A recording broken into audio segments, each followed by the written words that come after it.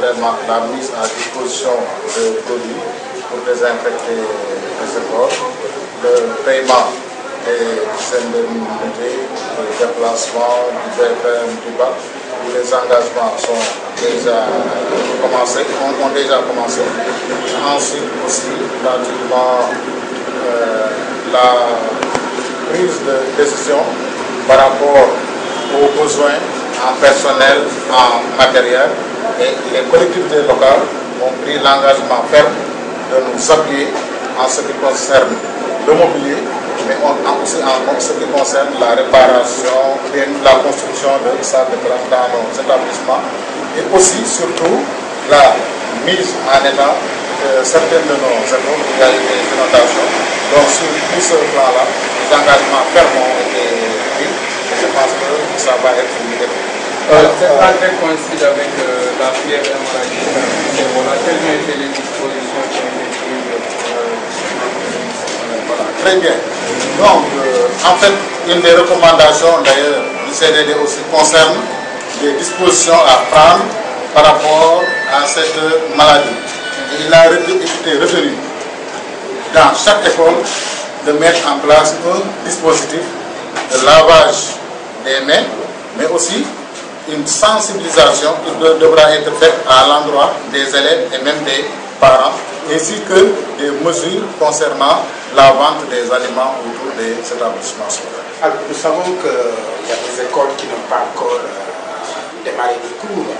Dans certaines zones, euh, il y a des habitants. Alors, aujourd'hui, qu'est-ce qui freine aujourd'hui euh, Qu'est-ce qui retarde justement le démarrage des cours dans la plupart des établissements du département du Sénégal? Dans la plupart des établissements du département, les cours ont effectivement démarré.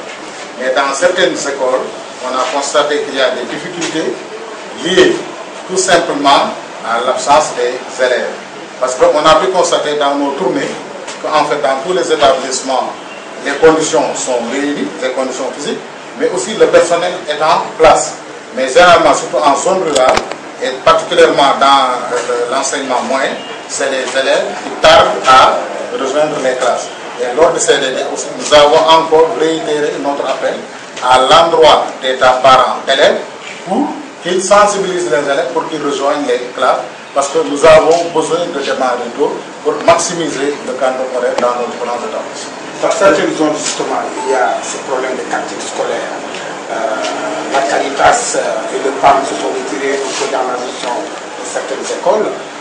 Aujourd'hui, euh, quelles sont les mesures que l'IF va prendre justement pour accompagner ces élèves qui, euh, sont dans le Voilà, donc le retrait du PAM et de la Caritas de certaines de nos écoles va poser d'énormes difficultés, surtout pour les écoles situées le long de la frontière avec la Guinée-Bissau.